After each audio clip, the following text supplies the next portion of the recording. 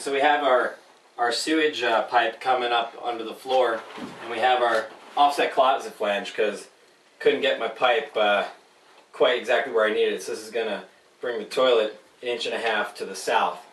Um, so you can see down here, you can see where the pipe's at right here, and we're using this nifty little tool here to cut the uh, three inch PVC down um, while it's already in the floor. Uh, so we didn't cut it ahead of time. This is gonna let us go down with um, despite our our little clearance around this hole that we have here. So we have a mark on the inside of our PVC that I'm trying to hit. There. One more. Battery. I'm basically at that line.